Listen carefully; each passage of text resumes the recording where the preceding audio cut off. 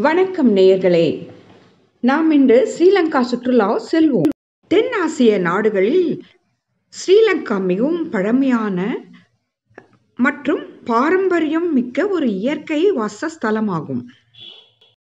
ஸ்ரீலங்கா இந்தியாவை போல் பிரிட்டிஷ் ஆட்சியின் கீழ் இருந்தது. அப்பொழுது ஸ்ரீலங்காவை சிலோன் என்று அவர்கள் அழைத்தார்கள்.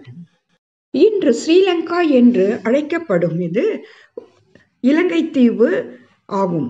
இராமாயண காலத்து சேதுபாலம் சீதை இருந்த வனம் மற்றும் ராவணின் கோட்டை என ஒருபுறம் புராண இதிகாசங்களுடன் தொடர்பு கொண்டுள்ளது. தென்னிந்தியாவின் மிக அருகாமையில் உள்ள ஒரு வெளிநாட்டு சுற்றுலா தலம் ஸ்ரீலங்கா ஆகும். சென்னையிலிருந்து ஒரு மணி நேர தூரத்தில் விமான பயணம் சென்று நாம் ஸ்ரீலங்காவை அடையலாம். சென்னை மதுரை திருச்சி கோவை என முக்கிய விமான நிலையங்களிலிருந்து விமானங்கள் செல்கின்றன. நேரடி விமான சேவை வைத்து ஒரு மணி நேரத்தில் இலங்கையை தலைநகரான கொழும்பு பன்னாட்டு விமான நிலையத்தை அடையலாம். இலங்கை செல்ல ஆன்லைன் விசா மூலம் விண்ணப்பித்து விசா பெறலாம்.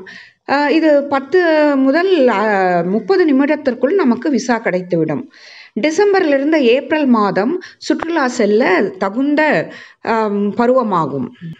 விமான நிலையத்திலிருந்து நாம் நேரடியாக வாகன வண்டிகளை அமர்த்தி கொண்டு சுற்று பார்க்கலாம்.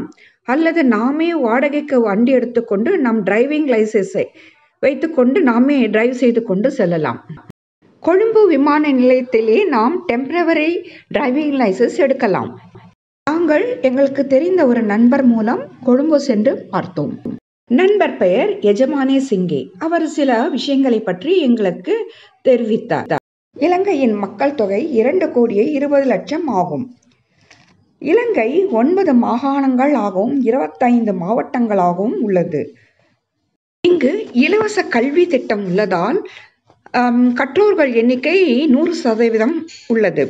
மருத்துவ கல்வியும் உள்பட பல பிரிவுகள் கீழ் உள்ள பாடத்திட்டங்கள் இலவசமாக கற்பிக்கப்படுகிறது.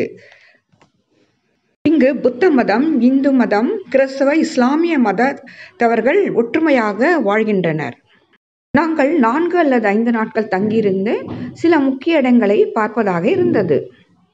முதலில் கொழும்பு தலைநகரத்தில் உள்ள சில கோயில்கள் மியூசியம் ஷாப்பிங் மால் என பல இடங்களை பார்த்தோம். அதற்கு பின் பின்னவாலா என்ற இடத்திற்கு சென்றோம். அது யானைகள் சரணாலயம். முன்பு சுமார் இருபதாயிரம் யானைகள் இருந்ததாகவும் பின் நாற்பட குறைந்து கொண்டு இப்பொழுது ஐயாயிரத்திலிருந்து எட்டாயிரம் யானைகள் மட்டுமே இருப்பதாக சொன்னார். பின்பு டம்புல்லா எனப்படும் தம்புல்லா புகழ்பெற்ற புக்தரின் குகை கோயில்களை பார்க்க சென்றோம். அங்கு புத்தரின் பல் பாதுகாப்பாக வைக்கப்பட்டிருப்பதாக சொல்லப்படுகிறது. இது பனிரெண்டாம் நூற்றாண்டை சேர்ந்தது. இங்கு புத்தர் பல வண்ண வடிவங்களில் தியானம் செய்வது போல் சிலைகளை பார்த்தோம். அடுத்த முக்கியமான ஸ்தலங்களில் ஒன்று சிகாரியா. இது ஒற்றை குன்று பாறையாக உள்ளது. அதன் மேல் கோட்டை அமைக்கப்பட்டுள்ளது. க கலை பாரம்பரியம் சின்னமாக கருதப்படுகிறது. இது ஆயிரத்தி நானூறு அடி உயரம் உள்ளது. ஐந்தாம் நூற்றாண்டில் கசியப்பர் என்ற மன்னரால் கட்டப்பட்டது. அடுத்த நகரம் கண்டி. இது பசுமையான மத்திய நகரம். ராவண நீர்வீழ்ச்சி மற்றும் இயற்கை எழில் நிறைந்த மலைகள் நம் நாட்டின் மூணாறு மற்றும் ஊட்டியை நினைவுபடுத்தியது. நம் முன்னாள் முதல்வர் எம்ஜிஆர் அவர்கள் இங்குதான் பிறந்தார். அடுத்த இடம் நுவாராலி.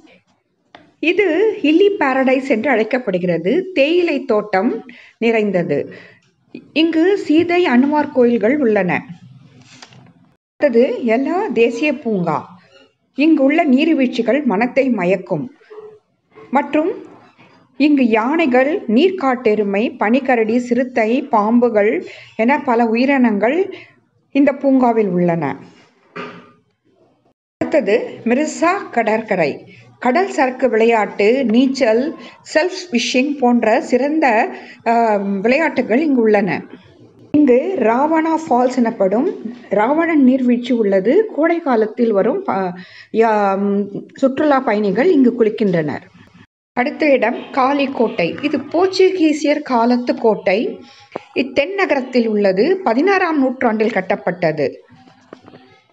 அடுத்தது nine arch bridge bridge in the sky இவை அனைத்தும் பார்க்க நான்கு அல்லது ஐந்து நாட்கள் பிடிக்கின்றன. அடுத்தது டேர்ட்டில் பார்க் கடைசியாக வெந்தோட்டை பெண்டோட் எனப்படும் ஆமை பண்ணை மிக முக்கியமானது. மக்கள் இங்கு பெரும்பாலும் தமிழ் சிங்களம் ஆங்கிலம் பேசுகின்றனர். இந்திய ரூபாயின் மதிப்பு அங்கே. நாம் ஒரு ரூபாய் கொடுத்தால் அவர்கள் இரண்டரை ரூபாய் கொடுக்கிறார்கள். உணவை பொறுத்தவரை பெரும்பாலும் தென்னிந்திய உணவுகளே ஆகும். பால் சாதம் என்பது அவர்கள் விரும்பி சாப்பிடும் உணவு. தமிழ்நாட்டில் உள்ள டிராவலிங் ஏஜென்ட்ஸ் மூலம் நாம் வந்து இலங்கைக்கு விசா எடுப்பதும் மற்றும் சுற்றி பார்ப்பது அங்கு தங்குவது உணவு முதலியவற்றில் ஒரு பேக்கேஜ் மூலம் நாம் தெரிந்து கொண்டு செல்லலாம். இந்த வீடியோ பிடித்திருந்தா லைக் பண்ணுங்கள் ஷேர் பண்ணுங்கள் நன்றி வணக்கம்.